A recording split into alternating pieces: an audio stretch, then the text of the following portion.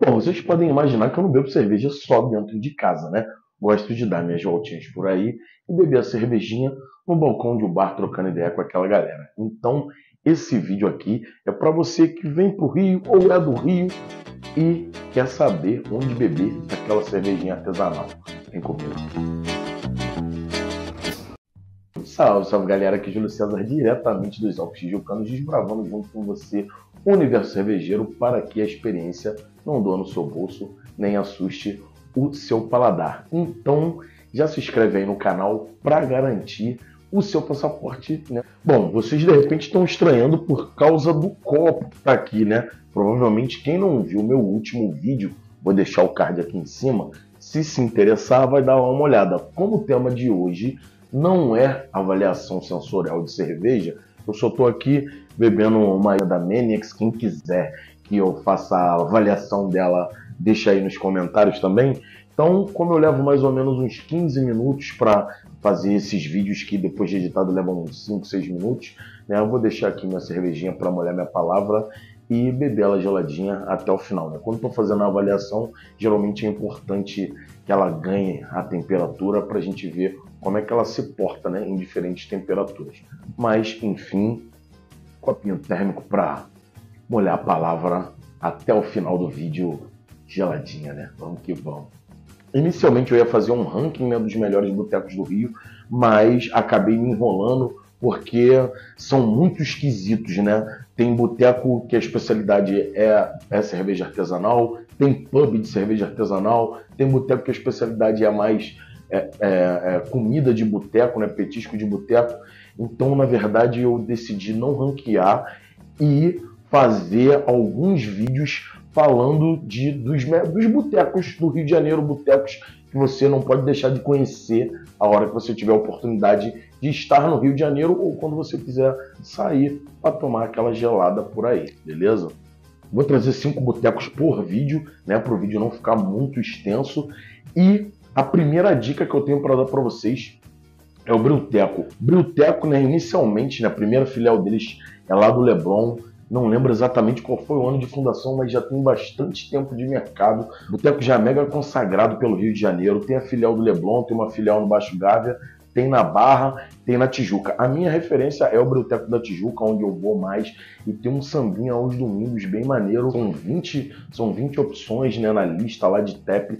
Tem cerveja que não acaba mais. Várias opções de brewteco pelo Rio de Janeiro. Bom, a segunda dica é o Na Real. É um brew pub, uma cervejaria que, que rola ali na Real Grandeza. Acho que eu não posso chamar de brew pub porque tem uma questão do posicionamento do TEP em relação à entrada do, do bar a parada minha de maluco, mas foram os ingleses que inventaram isso, então vou respeitar. Então vou chamar um, na real de cervejaria, né? Mas também é bem maneiro. A maior atração deles é que é eles têm um alto serviço. Né? Geralmente tem uma galera lá, tem sempre um ou dois sommelier lá para explicar para a galera que, que é cada cada chopp, o que esperar de cada chopp e tal. Mas o maneiro é que você. O maneiro e o, e o perigoso também é que você adquirir um cartãozinho na entrada e aquele cartão ali aciona um sistema de autoatendimento.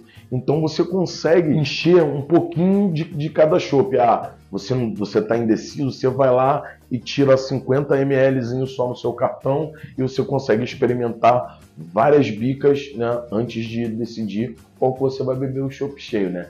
O problema é que depois de 3, 4 chopp você esquece que pode botar 50 ml e toda hora você enche um copo, mas também é outro lugar maneiríssimo, tem uma carinha de balada assim, meio boate, para ir sábado à noite assim, pô, show de bola. Ainda ali pelos lados de Botafogo tem a Alcos Pocos DNA. É ali na 19 de fevereiro, não lembro exatamente qual é o número, mas quando estiver editando o vídeo, eu coloco o endereço de, de todos os bares aqui para vocês. Pô, a casa também é maneiríssima, pô, tem uma vibe muito hipster assim, pô, de, de compartilhamento assim das mesas e tal. Pocos Pocos é uma das melhores cervejarias do Brasil e tem né, toda aquela mística né, dos magos e tal, daquela, daquela coisa de mística mesmo né, envolvendo as cervejas deles. Né? E aí, se você for na Ocos Pocos, você não pode deixar de andar mais uns 10 metrinhos, menos até, e dar um pulo na Overhop. É uma tem uma pizzaria entre uma cervejaria e a outra, né? As duas ficam ali na, no finalzinho né, da, da 19 de fevereiro, ali em Botafogo, né? E, pô, em, em, em 10 metros você tem a oportunidade de visitar duas das melhores cervejarias do Brasil. Você pode perguntar para qualquer sommelier, cervejeiro, apreciador de cerveja artesanal que já tenha uma estrada um pouquinho maior. Se você pedir para ele fazer o top 10 das melhores cervejarias do Brasil, duvido que a Overhop e Ox Pocos não vão entrar. Então, mais dois barizinhos aí para conta.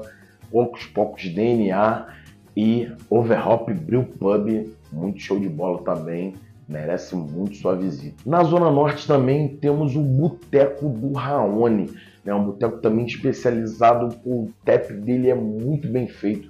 Sempre que eu vou lá, pô, a lista de cervejas que estão plugadas lá no, no, na, nas torneiras é sempre impecável. Pô, curadoria do Raoni lá e da Lídia também, esposa deles, são maneiríssimos. Mas é isso, pô, no Raoni também vou dar uma dicasinha a mais.